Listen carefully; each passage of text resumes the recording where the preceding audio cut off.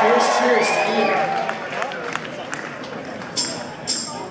Welcome to our little campfire sing-along. This is gonna be fun. This is going to be fun. We don't do a lot of these, just once in a while, but um, I really look forward to them. I think they're kind of cool. It's a rare, fun occasion for sure.